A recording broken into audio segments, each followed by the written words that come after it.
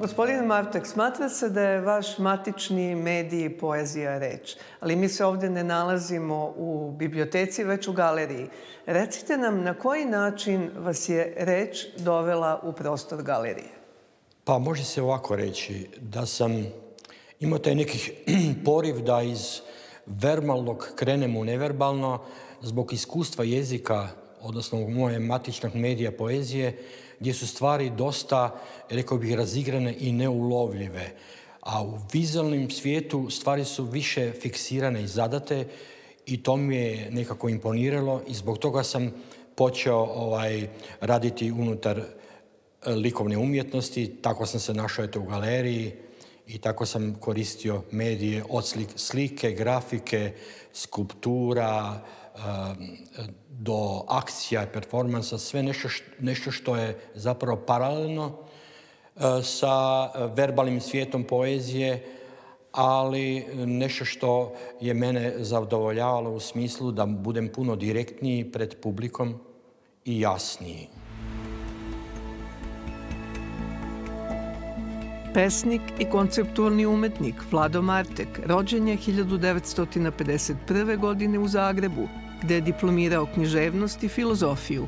Na umetničkoj sceni prisutan je od početka 70. godina 20. veka, gde se prvobitno bavi vizuelnom i konkretnom poezijom, potom konceptualnom umetnošću i akcionizmom, kao i umetničkim knjigama, a tokom 80. godina svoje delovanje širi na polje slikarstva, vajarstva, grafike i land arta. Izlagao je širom sveta, između ostalog njegova dela nalaze se u zbirci Centra Pompidou u Parizu, kao i Muzeju moderne umetnosti u Njujorku. Jedan je od najautentičnijih glasova jugoslovenskog umetničkog prostora.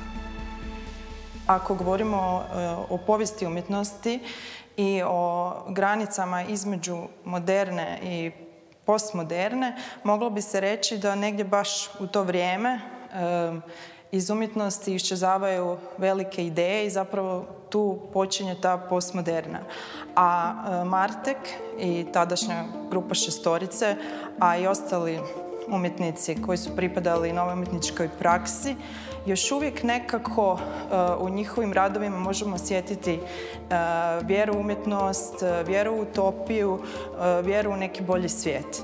I mislim da zbog toga, to je jedan od razloga zbog kojega e, iz moje perspektive, moje generacije, su te neoavangardne grupe vrlo važne. Zbog toga što još uvijek osjećam tu avangardu u njima koja na neki način u današnjoj umjetnosti sve više iščezava iz umjetnosti. Možemo se sjetiti i novih pojava, poput recimo bioarta, art science Da, to su zapravo e, nekakve e, nove prakse u kojima nemamo e, toliko prisutnost duhovnosti, pa čak niti estetike.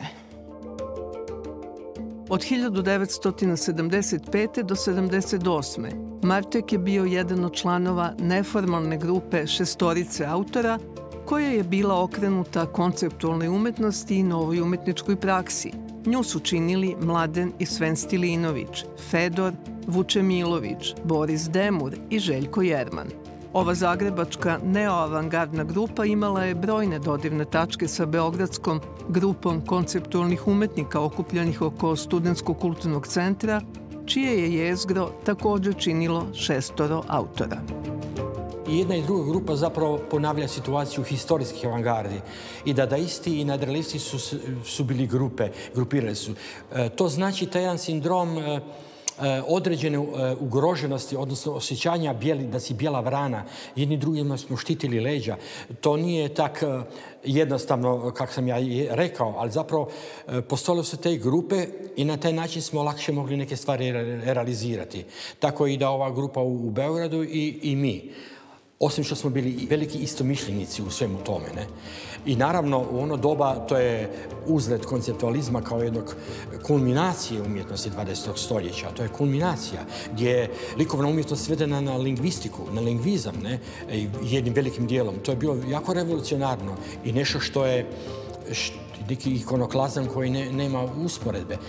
Mi smo bili protiv jednoumlja, jasno, ali svi smo mi kroz umjetnost zapravo bili djelovali društveno, kao zon politikon. E, dekonstrukcijom poezije sam ja zapravo bio politički angažiran, jer sam razbio modernizam i tako dalje. Ili Jerman koji je stvarao e, elementarnu fotografiju, on je kroz fotografiju pokazivao svoj istovremeno i politički stav. Ne? I tako i, i Raša kroz svoje akcije, Raša Todosijević ili, ili Marina Abramović. Tako, svi smo zapravo, niko nije išao, se direktno nije vulgarnom, na vulgaran način bavio politikom. U Martekovoj umetničkoj praksi osnovu čini poezija koju on promišlja u proširenom polju. Inicijalno, između 1966. i 73. izražavao se u domenu klasične poezije. Usledile su etape predpoezije, a potom i postpoezije gde udružuje sve žanrove kojim se dotad bavio. Predpoezija je to je jedna, eto, nešto što sam ja smislio da bih u jednom konceptualističkom duhu onog vremena kad sam počeo raditi, da bih stvorio jedan umjetan prostor za naprosto porast svijesti o mediju e, poezije. Da bih pokušao angažirano na tragu jedne utopije, da bi pokušao problematizirati neka pitanja koja se automatski podrazumijevaju. Piše se poezija, to se od štampa, to se čita i tako dalje, međutim, ja osobno nisam bio zadovoljan sa tim svijetom, klasičnim putovanjem poezije, tako da je ta predpoezija bila smišljena, kasnije sam to e, spoznao, kao jedna, e, rekao bi, pankerska stvar. To je zapravo bila jedna dekonstrukcija medija poezije, u tom smislu da se predpoezija zove još i elementarni procesi u poeziji. To znači svijest o zapisivanju, svijest o podlozi na kojoj zapisuješ. Ja sam onda zapisivao recimo neke stihove na ogledalu, pa kad čovjek čita moje stihove, čas vidi svoju njuškicu, a čas vidi stihove. Onda sam pisao stihove na staklu. Čas čovjek ima fokus na mojim stihovima, čas mu pogled ide kroz u okolinu. Više struka komunikacija sa poezijom, znači to problematiziranje podloge a istovremeno i jedno ovaj, problematiziranje e, moralnog pitanja u, u, vezi toga da li trebamo uopće pisati, na koji način trebamo gomilati literaturu. Pitanje umjetnosti i poezije nije pitanje emocija, ni osjećanja, nego je pitanje puno komplet, kompletnijeg ljudskog, gibanja ljudskog duha. Utoliko je predpoezija, eto, moj prilog tom jednom kreativnom rastvaranju, to je ovaj, da bi zapravo, kako sam ja rekao, ubijam poeziju, da bi je ponovo uskrsno. To je taj pokušaj, jer vi nešto, ako hoćete stvoriti, morate prvo razložiti stvari da bi mogli onda opet sagraditi. Tokom 80. godina proteklog veka Martek ulazi u etapu koju označava kao postpoezija, gde objedinjuje sva dotadašnja umetnička iskustva. Postpoezija je bila pisanje gotovo kao malo nešto automatsko pisanje, znači bez neke cenzure, autocenzure. Podloga toga je bila jedan moj privatni teški e, događaj doživljaj u mom životu koji me je naveo da, da ovaj, iskrcam i sve emocije i sve ideje u, u, u pisanje i u tom smislu sam to nazvao postpoezije kao nešto što je došlo na kraju jednog, jedne, jedne trodjelne prakse, dvodjelne prakse, predpoezija, poezija i onda je došla postpoezija. Tako da sam čak sam i kasnije razradio stvari u malo, rekao bih, ironičnom tonu. Postoji i međupoezija, postoji podpoezija, to je ona loša poezija koja se meni možda isto koji podogodi, a postoji i nadpoezija. To je pak čisti idealizam, to je ono kad napišeš pjesme ništa ti drugo ne treba, samo imenuješ stvari. Ja inače doma u kući imam na imenovo, na frižideru piše frižider, na ormaru piše ormar, na krevetu piše krevet. To su stvari koje svi mi znamo, ne? to je proces, imenovanja. Međutim, na taj način se, mi svi mi podrazumijevamo, automatski se podrazumijeva da je stol stol. Ne trebam ja napisati da je stol stol. Međutim, ja se vraćam na početne pozicije da bi, se, da bi osvijestio te, te automatizme i na taj način stvorio neku začutnu situaciju, situaciju koja je po meni zapravo poetska situacija. Da ponovno kao Adam doživljavam jezik, ja imenujem stvari. Ne? Ali nije baš uvek da se kod vas poklapaju označeni i označitelj. Ponekad se igrate sa tim. Nekad sam napišem na, na, na češalj, napišem tanjur, ne, i tako, namjerno tu zbrku. Da bi zapravo pokazao kako, kako je zapravo dobro ono kad na stol pišeš stol. Te greške, zapravo namjerne greške, e, bacaju svjetlo na ono što je ispravno. To je tako jedno razgranati posao onda. Da bi se vidjelo i da bi se, velim, e, razbila taj automatizam podrazumijevanja. Kao autor i izdavač Martek je objavio niz knjiga i štampanih izdanja, umetničkih knjiga, plakata, zbirki poezije, knjiga eseja i tekstova, knjiga o poetskim i političkim agitacijama, grafičkih mapa. Pre deset godina objavljena je i njegova izuzetna sonetomanija. Taj sonet je kao e, najpoznatija pjesnička forma. U ovom slučaju meni sonet služio kao metafora, ja sam tu nacrtao kao približno dve katrene, dve tercine i sad onda sam u te volumene dvije katrine uh, trpao, ukrcavao vizualni materijal, tako da, sam dobivao Eh, recimo paras, parasonete, ali zapravo neke vizualne sonete, vizualnu poeziju. Na neki način to je vizualna poezija eh, gdje sam ovaj, bio u dodiru sa klasičnom poezijom, sa medijem poezije, ali zapravo na potpuno suprotan način. Nisam, eh, nisu tu rime, nisu to katrene, nije to nešto. Znači opet jedna dekonstrukcija u službi neke druge konstruktivne poruke, a to je poruka da se sloboda, da se možeš poigrati nekim metaforima, klasičnim metaforama kao ovdje soneta i čak sam tu malo karikirao sebe i autor ja, ja imam maniju za sonetima, ne, to tako ispada da sam manično opterećen, e, da, ovaj, da se obračunavam sa tim e, nekim punktovima klasične poezije. I velim, taj likovni materijal onda mi je, e, evo, koristio mi, s obzirom da sam imao tu likovnu praksu onda već od prije, i tako tu knjigu sam napravio na krilima tog, tog jednog zajedništva riječi i slike. I, da tako velim neskromno, bila jako, jako dobra recepcija te knjige. Neko su ljudi su prepoznali u tome jednu zgodnu ovako vizualno jezičnu avanturu. Izložba Vlade Marteka naslovljena Izreći sve kao Hamlet u predstavi, koja je sredinom marta predstavljena u Beogradskoj galeriji B2, koncipirana je kao svedena retrospektiva, budući da je obuhvatila radove nastale od kraja 70. godina prošlog veka do danas – U katalogu ove izložbe Martekovo stvaralaštvo kontekstualizovala je istoričarka umetnosti Neva Lukić. Prostor ove izložbe ovdje na neki način oslikava e, njegov atelje, kao da smo neke dijelove ateljeja preslikali.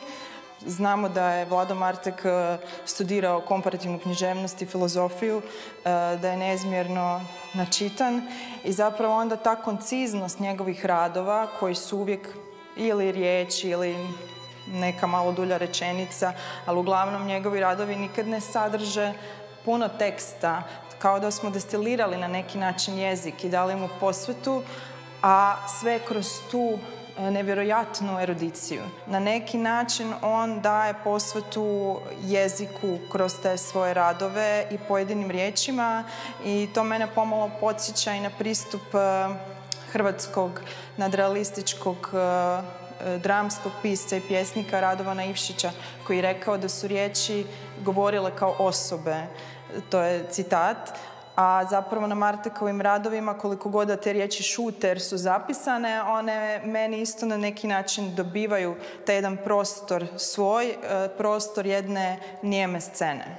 Ovdje imamo jednu instalaciju koju sam ja nazvao Uroboros, znači zmija koja jede vlastiti rep, jedan krug, a radi se zapravo o tri skupine stvari. Ovdje su e, materijali s kojima ja radim asamblaže, kolaže, slike. Ovdje ova skupina to su e, radovi koji su već gotovi, realizirani, koji su, kako, kako se ona kaže, spremni za izložbu. A ovdje je treća skupina, e, to su, to su publikacije, katalozi, deplijani, knjige o mom radu umjetnosti. Znači, te tri skupine zajedno čine e, u ovom slučaju jednu cjelinu. Cjelinu koja se može promišljati kao jedna stvar koja e, e, se povezuje a ne tako često u našim glavama, da je zapravo te tri dionice su za mene nekako jednako važne. U ovom slučaju čak i vizualno su jednako prisutne i jednako vrijedne po meni. To je jedna e, postavka gdje ja izjednačujem vrijednost materijala, kataloga, to jest dokumentacije i samih radova. Zastupljene su fotografije, grafike, kolaži, asemblaži, fotodokumentacije land arta, ostvarenja gde se promišlja poezija i umetnost i s druge strane takozvani geopolitički radovi, svojevrsne umetničke intervencije na geografskim kartama ili fiktivne poetske mape. Ovo je na, na dijelu manje, dobro ima više procesa, ali e, uglavnom je to poigravanje sa toponimima. To je znači preimenovanje stvari. Ne? Ovako tu tamo je kontura uh, Hrvatske, ja sam napisao Derrida, ne, nije Hrvatska nego Derrida, ne, tamo gdje je Bosna sam napisao Crowley i, i, tako. Znači, stvaram jednu, jednu začudnost, znači pomoću jezika, kojeg, pomoću kojeg se inače stvara poezija, stihovi i tako, nešto što može biti dosadno i ne mora biti dosadno, ali tako da uh, sam onda u tom vizualnom materijalu, u toj vizualnoj datosti, opet pomoću jezika sam uh, koji put stvarao neke iskre poetičnosti, a koji put je to bilo čisto jedna, jedna, jedna angažiranost, e, radovi koji su bliski jednoj političkoj angažiranosti. Ne? Ovaj, I te sve moje agitacije pjesničke, političke i, ove konture uh, tih država, mi znamo da su zapravo granice imaginarne.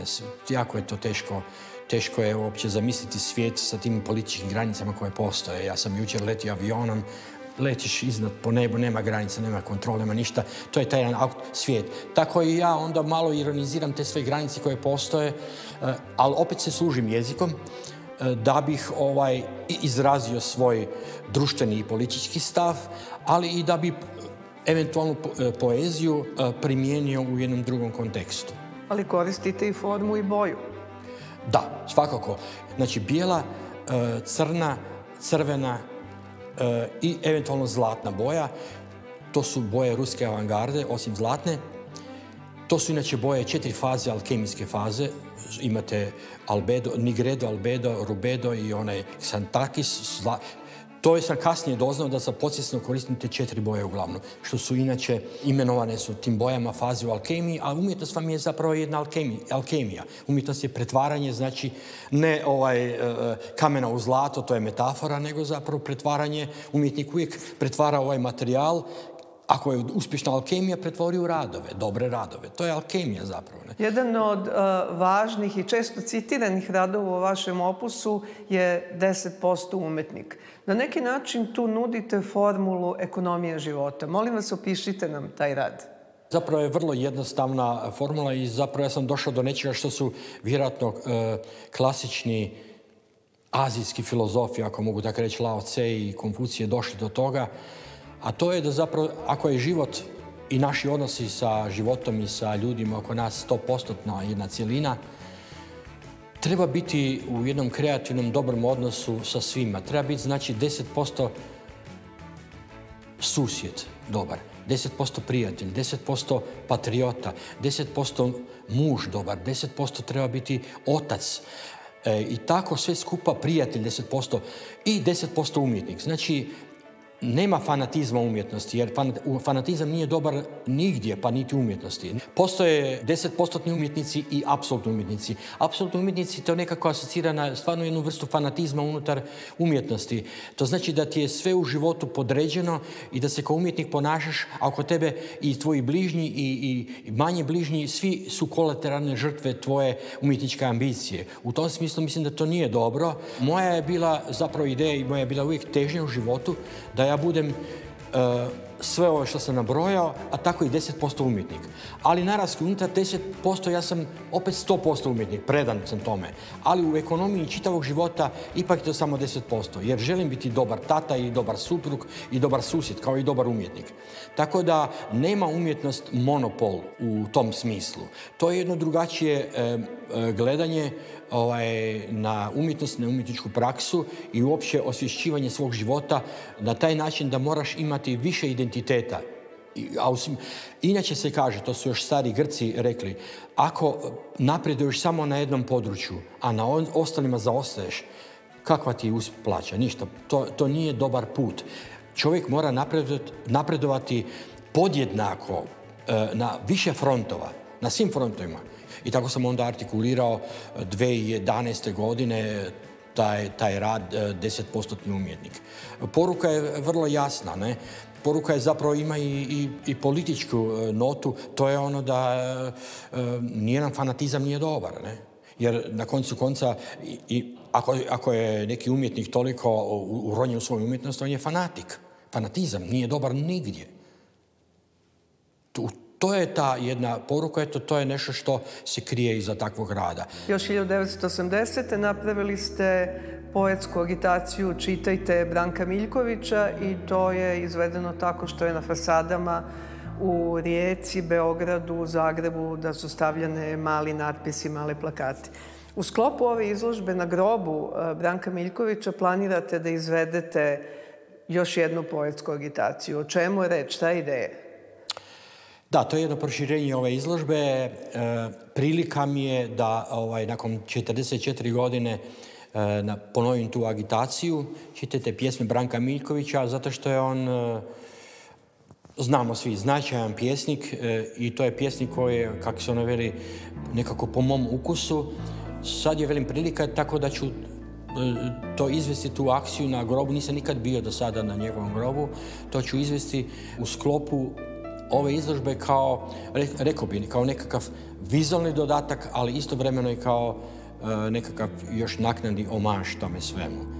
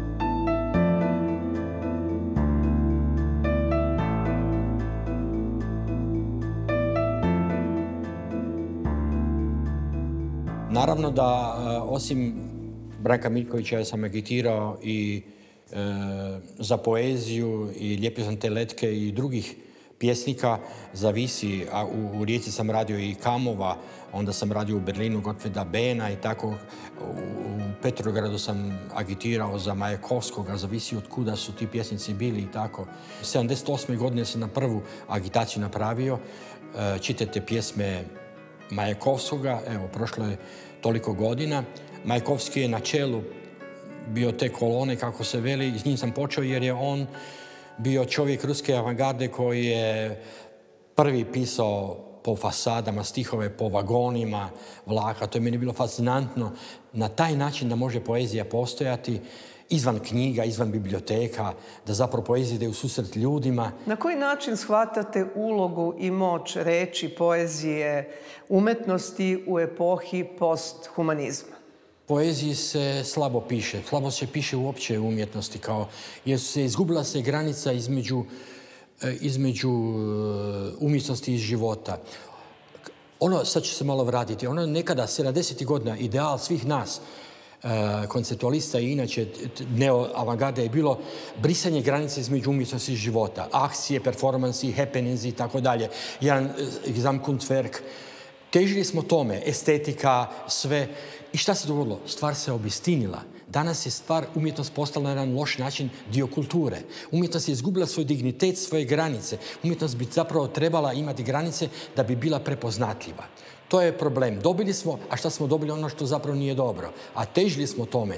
Tako da ovaj, i snaga umjetnosti i snaga poezije e, kao, kao recimo članice velim, te grupacije umjetnosti zapravo je vrlo slaba. Zato što, zato što su rasklimane granice i ljudi zapravo više ne znaju cijeniti. Nema, nema tu specifičnu težinu određeni teritoriji. To je kvaka, to je problem. Lijepo je ono bilo zamišljeno u doba još utopije. Ajmo brisati granice između umjetnosti i života. I sad ja imam jednu izjavu od prije deseta godina koja glasi romantiziram i idealiziram granicu između umjetnosti i života. To je izjava moja, koja je suprotna moje mladosti, mojim postavkama u mladosti, gdje sam ja htio brisati granice. Ali sam shvatio kad nema granice, kad je umjetnost sve prisutna od dizajna, od odjeće, od svega.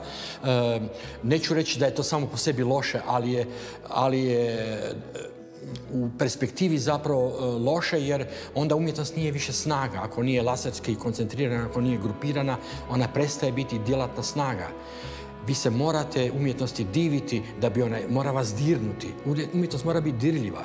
Ona ne smije biti tehnološki sjajna, perfektna, izvedena pomoću novih medija. Ona mora imati uh, prvenstveno element dirljivosti snage. A za, to da bi ima, ona mora biti ograničena. Tu je umjetnost, ovo dalje je e, ulica, cesta, dvorište, ovo je tehnika. I tako i tu. Sad, to ne znači da zapravo umjetnost se treba svesti opet na to da radimo ulja na platnu ili, ili e, da radimo e, skulpture od bronce. To ne znači na stare postavke. Ali ipak, to je borba za prepoznatljivost. U današnje doba kad ja velim da zapravo e, na kraju manirizma nestaje manirizam u tom smislu da sve te iskrivljavanja, devijacije, igra e, avangardna tog manirizma kao takva, kao, Apolo, e, kao dionizijsko nasuprot apolonijskom klasičnom umjetnosti gubi tlo pod nogama ta podjela gubi pod nogama naprosto zato što je ne samo osim umjet, e, pomoću umjetne inteligencije, nego inače je više nemoguće sabotirati, e, iznenaditi se nečime. Nemoguće je napraviti nešto i reći to je izvan sistema, odnosno, jer je, sve se inkorporira, sve se posvoji odmah. Tako da je, e, da je manerizam kao način pretjerivanja, glumljenja, ovo, nemoguć više, jer sve se može ovaj, Potrošeno je to. E, umjetnost bi trebala e, služiti romantiziranju života. Jer to je, sad imamo tehniku, imamo sve napredak, sve je super sjajno, sad nam treba napredak u jednom drugom punijem smislu koji je nije mjerljiv e, vanjskim mjerilima. A umjetnost će biti ta koja će biti istovremeno i mjera i ono što se mjeri. To je začudalo, da. Tako bi trebalo biti, da. da. To je moje gledanje, znači slabo stoji stvar jer ovo što ja pričam, to je opet individualna moja priča koju ne dijeli nitko skoro. Možda pasivno dijeli pa će reći eh, sviđa mi se to Martek, ali ljudi su nasađeni manje više svi na jednu ideju napretka. Ja nemam ideju napretka uopće, meni je to strano. Zato što je napredak uvijek zapravo eh, ne gubitak onog lošeg, nego gubitak, gubitak i onog dobrog. Zato nisam za napredak. Čuo sam da u Engleskoj postoji sad neki kazneni zakon protiv ljudi koji su protiv napretka. Do tu smo došli. Ne mogu sam formulirati, ne mogu precizno. O, inače su Englezi uvijek sto godina ispred svih, ne? Ide se za tim, to je takva idolatrija novoga da se kažnjavat će se ljudi koji su protiv napretka, to znači protiv kompjutera koji prigovaraju nešto koji su generalno, ne. Svi moramo srljati u novo, pa makar u transhumane ljude, ne. Mi smo možda sad zadnji e, starinski ljudi, moja generacija, sad starinski. Dolaze transhumani ljudi, zombijići, tako zvani, mislim. Neću, kritiziranje je jeftina stvar.